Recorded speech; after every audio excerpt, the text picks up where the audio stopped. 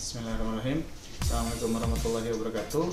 Hari ini kita akan membahas tentang konsep dasar teori yang mendasari uh, mata kuliah pengembangan dan penelitian dan pengembangan teknologi pendidikan. Kita akan membahas konsep dasar yang sebetulnya sudah pernah Anda peroleh di awal-awal semester perkuliahan di program studi teknologi pendidikan. Kita akan hari ini yang akan kita bahas adalah tentang apa sih sebetulnya teknologi pendidikan? Mungkin sudah ada di antara Anda yang sudah agak-agak lupa terkait dengan pemahaman konsep ini, mengapa itu akan kita bahas kembali.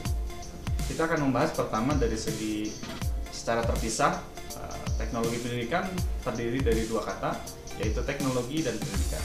Apa sebetulnya teknologi? Banyak orang yang uh, menggunakan terminologi teknologi ini secara tidak tepat.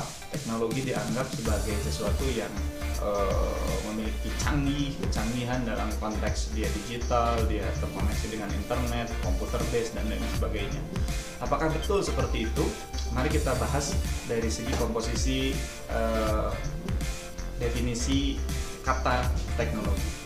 Teknologi sebetulnya berasal dari kata tekne dan logos. Tekne adalah serangkaian metode rasional atau kecakapan tertentu jadi teknik semacam teknik. Jadi persamaannya dari teknik teknik. Eh, atau pengetahuan tentang metode dan seni. Dan kemudian ada logos ilmu pengetahuan. Sehingga secara mendasar teknologi dapat diartikan sebagai pengetahuan tentang cara. Cara bagaimana melakukan sesuatu. Cara bagaimana ya, memproses sesuatu. Itu teknologi. Kita kita kita bisa menghadirkan beberapa definisi teknologi yang disampaikan oleh para ahli di antaranya juga uh, Profesor Yusuf Hadi Miarso menyampaikan bahwa teknologi adalah proses yang meningkatkan nilai tambah.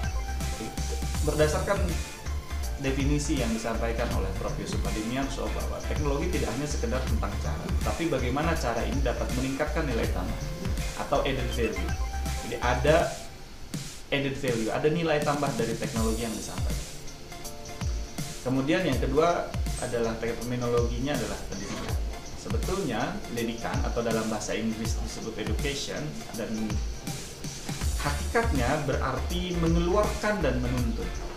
Mengeluarkan dalam artian mengeluarkan potensi peserta didik menuntun menuntun ke arah yang lebih baik.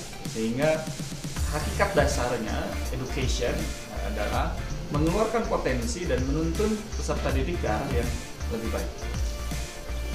Sedangkan dalam Undang-Undang Sistem Pendidikan Nasional, pendidikan diartikan sebagai usaha sadar dan terencana untuk mewujudkan suasana belajar dan proses pembelajaran agar peserta didik secara aktif mengembangkan potensi dirinya untuk memiliki kekuatan spiritual, keagamaan, pengendalian diri, kepribadian, kecerdasan, akhlak mulia, serta keterampilan yang diperlukan dirinya, masyarakat, bangsa, dan negara.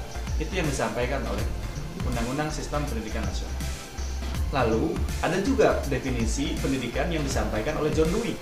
John Dewey menganggap pendidikan adalah sebagai proses pembentukan kecakapan-kecakapan fundamental secara intelektual dan emosional ke arah alam dan ke sesama manusia. Sehingga